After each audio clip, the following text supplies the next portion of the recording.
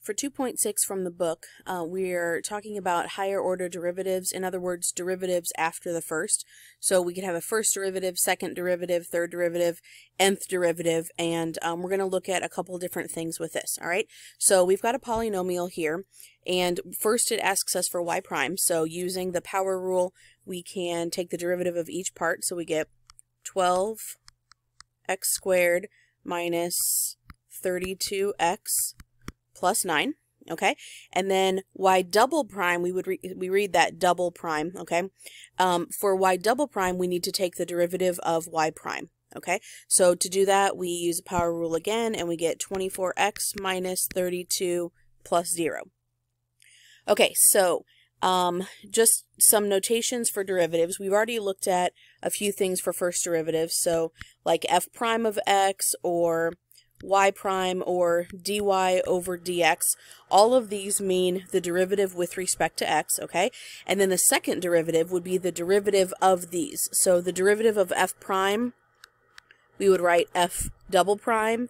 For y prime, the derivative would be y double prime. Now, this one right here, um, in the 2.5 lesson, we talked about how this is actually the operator derivative with respect to x of y. Okay, so then if we want to take the second derivative, we need to take the derivative with respect to x of the first derivative, which is dy over dx, and then this we write as d squared y over dx squared. Now, we don't need to put parentheses around the dx because d and x are not variables. dx by itself means um, the you'll and we'll get to this later, but it means the differential of x. So it means this means something together. Okay, so it's not really that these are separate variables, um, but this is the notation for second derivative. Okay, and then more generally, if we have the nth derivative, um, for this one right here, we would write that as dn of y over dx to the nth. Okay, so this means the nth derivative for whatever value of n. Um, now, for for the prime notation, um, we can use, for third derivative, I'll stick this in here, we can use a prime notation one more time. Okay, so third derivative would be f triple prime or y triple prime. But for the fourth or any higher derivatives, we would use parentheses. So we would say f and then we put parentheses around the fourth. So it's it's it's it's a difference between raising something to the fourth power and taking the fourth derivative. If we don't have the parentheses on there, that means f raised to the fourth power. But if we do put the parentheses on there, that means fourth derivative, okay? And then likewise with this, this would be the fourth derivative of y, okay? And then for the nth derivative, we would say f and then raised to the nth in parentheses, but we read it as nth derivative of f and nth derivative of y. Okay, so if you're asked for the second or third derivative, that just means take the derivative that many times. I do want to look at um, a particular case where uh, a higher derivative gives us a little bit of a pattern. For sine and cosine, we know that with the possibility of including a negative in as a coefficient, they are each other's derivative, okay? So let's look at y equals sine to the x and taking the derivative. In this case, it's asking us for the 20th derivative. Now, I don't want to take this derivative 20 times, but what I can do is I can take the derivative a few times and then find a pattern, okay? Uh, so, for this, I'm going to write y prime is equal to cosine x, okay? And then the second derivative, y double prime, is equal to the opposite of sine x. The third derivative is equal to negative 1 times the derivative of sine would be negative cosine x. And then the fourth derivative is the opposite of the derivative of cosine, so that would be positive sine x. Now, we notice that the original function, or we could say the zeroth derivative of sine, and the fourth derivative of sine are the same thing. Okay, so what this means is the fifth derivative is going to be the same as the first. The sixth derivative is going to be the same as the second, and so on, okay, where we have seventh, eighth, and then we find that every fourth derivative, we go back to the original function. Okay, now this only happens with sine and cosine, but any derivative that is a multiple of 4 um, has a derivative that is equal to itself for either sine or cosine. So since 20 is divisible by 4, okay, because this pattern would continue, then I can say that the 20th derivative of sine of x is equal to sine of x. Now, if I were looking for a derivative that had, um, or that wasn't divisible by 4, so maybe I was doing like the 103rd derivative of sine of x, Okay, well, the first that would be since uh, 103 is one less than a multiple of 4, then I would be at the same as the third derivative here. So this is going to be negative cosine x. So we can use this pattern to answer questions like this where it says 20th derivative. I don't actually expect you to do it 20 times. Okay, um, it's very unlikely that you will be asked to write something out higher than the third derivative. If you're asked for a derivative higher than that, then you should be looking for some kind of pattern. Now, one thing I want to point out with this, this is just for plain sine x and cosine x.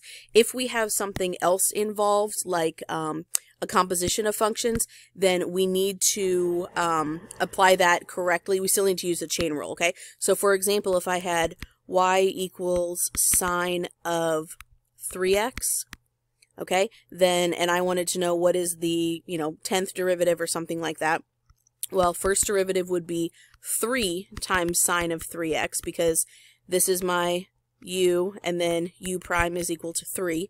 Okay, so I would have cosine of 3x times 3. And then the second derivative, I would have 3 times the, oh, I'm sorry, this should be cosine, not sine. Sorry about that. Okay, so derivative of cosine is negative sine, and then times another 3 for what's in here, but then times the 3 that is in front, so we would have negative 9 sine of 3x. Third derivative, I would be multiplying the derivative of sine 3x, which is cosine 3x times 3 times negative 9, which gives us negative 27 cosine 3x. And we again see this pattern where um, the trig function is still going to repeat in fours, okay, because fourth derivative would be back to something times a, co or a coefficient times sine of 3x, but this is going to be negative 27 times another 3. This is actually going to be uh, 3 to the fourth. Okay, and so we see that if there's a coefficient inside here, then we need to keep that in mind as we take the derivative. So if I wanted to know, like, the the 10th derivative, I think is what I said earlier, this is going to be uh, 3 to the 10th times, and then the I have a, if I divide this by 4, I have a remainder of 2, so times the second derivative of sine, which is negative sine, so negative in front and sine of 3x there. Okay, for this one right here, um, again, we have, we're asked for the fifth derivative. We, we are looking for a pattern. Um, for all of these, now this is, if I look at these terms right here, this is a polynomial. Um, I do have fractions and radicals, but it doesn't matter because they aren't in exponents of the x's. The x powers are 4, 3, 2, 1, 0. So if I'm looking for the fifth derivative, okay, let's look at what happens after the first derivative. We'll just start with 1 and see, okay? We have 12 times 4, so 48x cubed and then minus, and then 27 over 31 times 3 is going to be 81 over 31 x squared, and then plus 2x times root 7, and then minus 1 12th times 1, and then that's a 0. Okay, so this last term dropped off because it was a constant, its derivative is 0. This term that was linear is now a constant, so it will drop off on the next derivative. This one right here is now linear, so it will drop off if I take the derivative two more times. All right. Because I'm using the power rule each time, eh, with every derivative, I subtract one from the exponent. Okay, so what this means is this term and this term are going to have derivatives um, before we get to 5 that are constant. Okay, and so really we just need to look at what's going to happen with this first term. What's going to happen when we take the fifth derivative of x to the fourth? It might be 0 okay? Because maybe we get to a constant and then we have a zero, or maybe it stops before then. So really, what we do, uh, what we need to do is just consider the first term. All right, let me show you what I mean. So the second derivative is going to be 48 times 3, and really I'm going to expand this. So this was 12 times 4. Now we're multiplying by 3, and then x squared, and then some other things that will drop off. Third derivative is going to be 12 times 4 times 3 times 2 x to the first, okay, which we don't need to write the 1, but it doesn't matter there.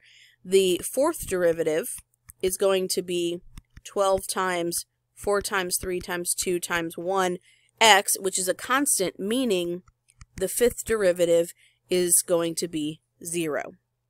Okay, so what are we really what are we really establishing here? If we have a polynomial and we are taking a derivative that is anything higher than the degree of the polynomial, the derivative will always be 0. Okay, so we could write this more generally and say for a polynomial of degree n, the n plus 1th derivative is 0. Okay, so this is, this ties to what we just looked at, but just so you can see graphically here, um, and this is something that you may have observed when we were doing the 2.0 packet, but just so that we can look at this. If we have a cubic function, this is degree 3, all right, so this is degree 3, its derivative is going to be degree 2, meaning it's going to be quadratic, and the derivative of a quadratic is going to be linear, and the derivative of a linear is going to be constant. So just to look at a graph here, um, let's go ahead and sketch the derivatives of this function and then the derivative of f prime. Okay, here we have a function that is increasing until 1 and appears to have a horizontal tangent at 1. It also has a horizontal tangent at 3, meaning that f prime will have zeros at 1 and 3. So 0 at 1, 0 at 3 and then we have something that's positive and then negative and then positive. So above the x-axis and then below and then above again. Okay, so something like that.